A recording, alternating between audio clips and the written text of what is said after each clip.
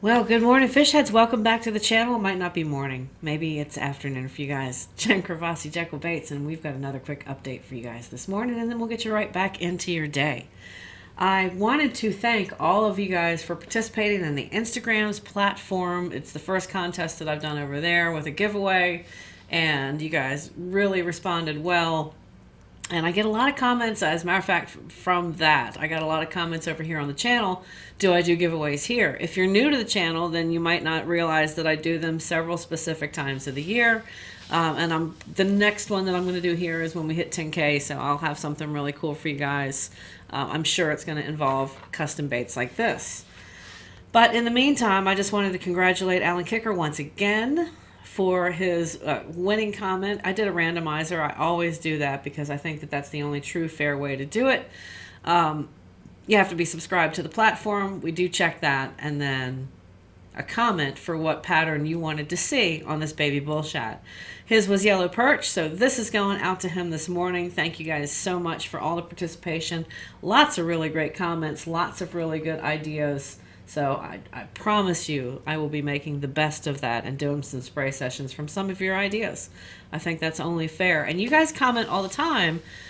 Do I do giveaways over here? Absolutely, I do. So, one of the things, if you're new to the channel and maybe you're just jumping on because you've seen me through Catchco and some of the stuff that we're doing and collabing with Mike Bucca, um, maybe you have not spent a whole lot of time on this channel yet.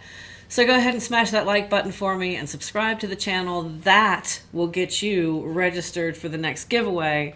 Um, most of you guys may or may not realize that um, it, it does help me put supplies back into this channel so that I can continue to teach you guys and give you guys some really awesome custom lure ideas. Um, it, it goes right back into feeding the fam. So I certainly appreciate the view and the support and it's essential for any small business to have that revenue stream, especially if we're going to be teaching you guys how to do what I do. So I am eternally grateful and humble for all of your support. Um, but in order to be qualified for any giveaways, you got to be subscribed to the channel. So go ahead and do that for me now. And you guys may not realize, but about 55% of you that regularly watch this channel are not subscribed, which is okay, but it will help qualify you for the next giveaway, which is coming soon because we're almost at 10K. And then, of course, the next one's probably going to be 50K, and then there's going to be a massive giveaway at 100K. In the interim, I do uh, giveaways Christmas time, a couple of different times of the year. I run really big sales on the website. So if you go to www.jekyllbaits.com, that will end my shameless plug and look for sales. And a lot of times I'll run ads here on this channel. But again, Alan Kicker, thanks so much. You guys had some really awesome comments over on Instagram. This craw, I just finished, and it's going out to Will. It's a fun craw. It's basic stenciling. Um, these 2.5 square bills come pre-foiled. They're awesome. Um, they really, really, really show off well when you're using transparent paint. You can see that I've got them with several different layers of paint on here and you can still see that foiling shining through, which is one of the things that I like about it. I picked this up from Cedar Run. I also picked up another really cool 1.5 from him, which kind of reminds me of the, the shape of the Mann's, the, the baby ones. Kind of has that nose. Um, but this is a 1.5. It, swim, it swims incredibly, incredibly well. And when I find really good hidden gems that not only look good but feel good, they're weighted well, the weight distribution is good. You guys can hear that. It's a fantastic rattle. These eyes came from Jettson Lure Eyes, so go visit John over there. It's jettsonlures.com.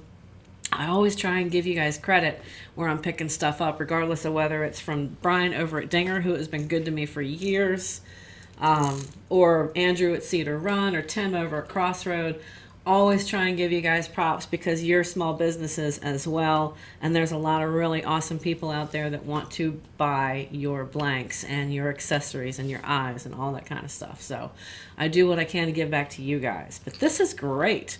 These eyes are not from john. Um, i actually got these off of aliexpress. And I don't think I have a link yet. I can put a link in for you guys, but they're um, they're the freshwater pearl eyes, and they're beautiful, and they really complement this particular style craw. Love doing the shading. This is a little bit more advanced because it actually looks like it's really there. So it's a couple of different tones of gray and black magenta in here to build it, build up the shading. And if you guys are interested in seeing how I pull off shading on crawfish, let me know. Drop a comment down below and I will get you, because it's been a while since I've done a craw pattern. Uh, I used to do them all the time when I started the channel out and I started doing spray sessions, but it's been a minute. So if you guys want to see this particular pattern and how I do it, how I put the shading in, and the stencils that I'm using to achieve this look, let me know. I'll be happy to do that for you. This is the S-Waver. It's a 168 in a carp pattern. And I don't know if, I'm going to pull this over, see if we can get a little bit better on, there we go, on lighting this morning. This is all hand detailed. I did every single one of these scales by hand. Um, I started out with a basic craw or um, a basic carp stencil that I got from Russ Allen over at Insane Custom Stencils, and then I added depth and layer to it by inking every single one of those scales. So it did take a good bit of work, a lot of depth to the pattern, and then added in uh, another set of stencil just to lighten it up and give it a little bit of contrast. And those that stencil, the scaling stencil, and this little dotted modeled stencil came from Brian. So again, I give you guys all the props that I can give. That's where I get my stuff from when I'm not cutting my own stencils. And yes, this is a legit S-Waver 168. Here is the packaging for it, and it is going out the door this morning. Along with that particular one, rascal, we're just going to stop here. Now, along with that S-Waver, also have this bullshad going out to him. The Angry Eye bullshad.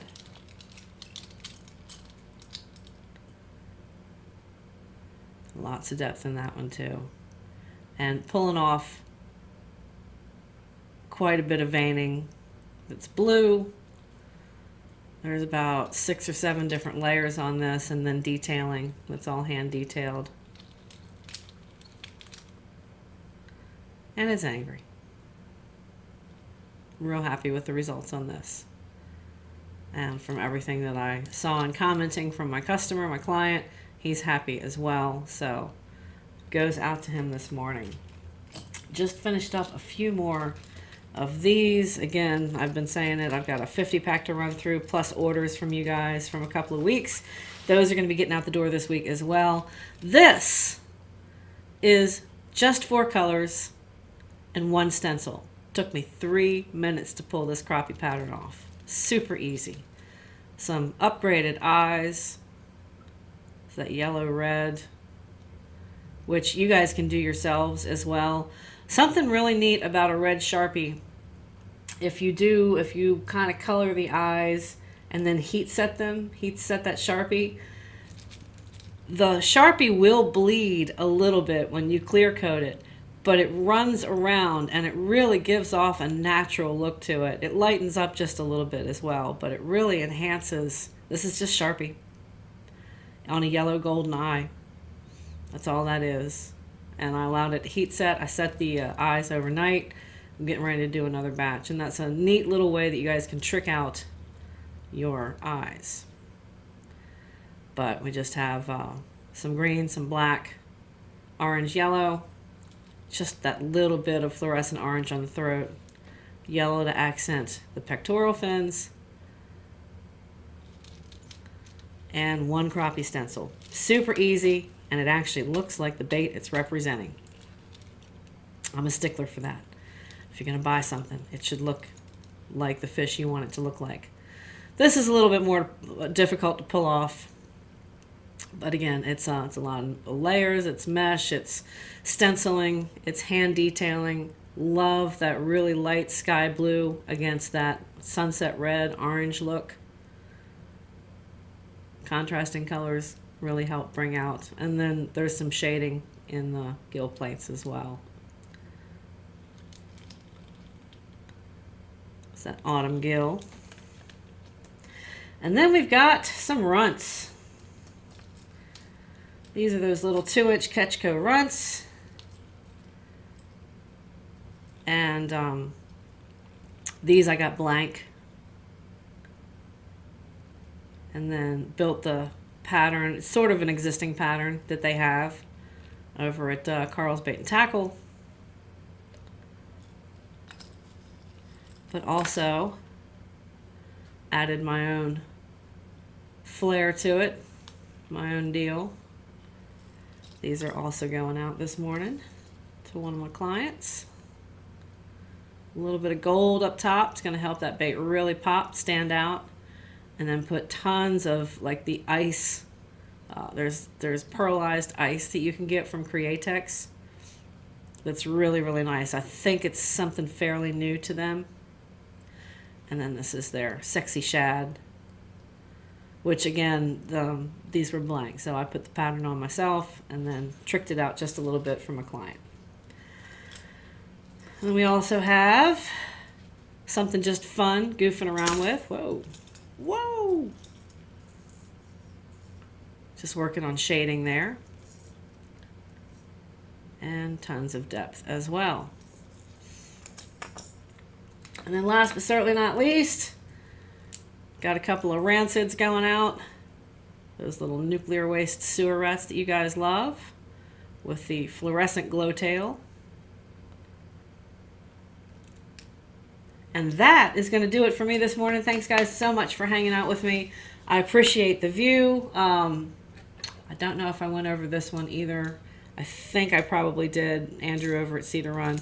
Um, it's early this morning, so I'll get some coffee in me. And if I didn't show it to you this time, I'll show it to you next time. Cheers, happy casting. Thanks so much for hanging out. If you have any questions or you want to see any patterns done, let me know. And I'll talk to you on the next video. See ya.